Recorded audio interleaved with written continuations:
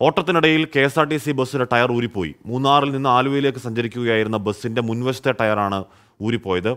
കൊച്ചി ധനുഷ്കോടി ദേശീയപാതയിൽ അയ്യങ്കാവിലാണ് സംഭവം. എസ് ശ്യാംകുമാർ ഉരുളുമായി ശ്യാം അപകടം ഒഴിവായി ഭാഗ്യം അല്ലേ? തീർച്ചയായും. അപകടം ഒന്നും ഉണ്ടായില്ല. ടയർ ഊരിപ്പോയതിനു ശേഷവും ബസ് കുറച്ച് മുന്നോട്ട് പോയി. ആ റോഡിൽ ആ ബസിന്റെ മുൻഭാഗം ഉരഞ്ഞതിന്റെ പാടുകളൊക്കെ റോഡിലുണ്ട്. പക്ഷെ ബസ് നിയന്ത്രിച്ച് നിർത്താനും സാധിച്ചിട്ടുണ്ട്. യാത്രക്കാർക്കൊന്നും അപകടം ഉണ്ടായിട്ടില്ല. ഓട്ടത്തിനിടയിലാണ് മൂന്നാറിൽ നിന്നും ആലുവയിലേക്ക് വരികയായിരുന്ന K S R T C ബസിന്റെ മുൻഭാഗത്തെ ടയറുകൾ ടയറിൽ ഒന്നാണ് ഊരിപ്പോയത് ഹാഷ്മി. ഇതെങ്ങനെ സംഭവിച്ചെന്നാണ് പറയുന്നത് ശ്യാം? പക്ഷേ ഇത് സാങ്കേതിക തകരാറെന്നാണ് K S R T C വ്യക്തമാക്കുന്നത്. മറ്റ് കാര്യങ്ങൾ പരിശോധനയ്ക്ക് ശേഷം അവരുടെ സാങ്കേതിക വിദഗ്ധർ എത്തി പരിശോധനയ്ക്ക് ശേഷം മാത്രമേ എന്താണ് സംഭവിച്ചത് എന്നുള്ളതിൽ വ്യക്തത വരികയുള്ളൂ എന്നാണ് പറയുന്നത്. ഓട്ടത്തിനിടയിൽ ഈ ടയർ ഊരിപ്പോയ കാര്യം ഡ്രൈവർ അറിഞ്ഞിരുന്നു.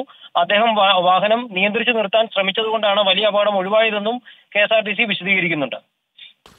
ശ്യാംകുമാറാണ് ആ വാർത്തയുടെ വിവരങ്ങൾ നൽകിയത്. എന്ന് പറഞ്ഞാൽ വലിയ അപകടമൊന്നും ഉണ്ടായില്ല. പക്ഷേ എന്താണ് സംഭവിച്ചത്? ഇനി അങ്ങനെ ഉണ്ടാവരുത് എന്ന് ഉറപ്പിക്കേണ്ട ബാധ്യത കെ എസ് ആർ ടി സിക്ക് ആ വിഷയത്തിലുണ്ട്.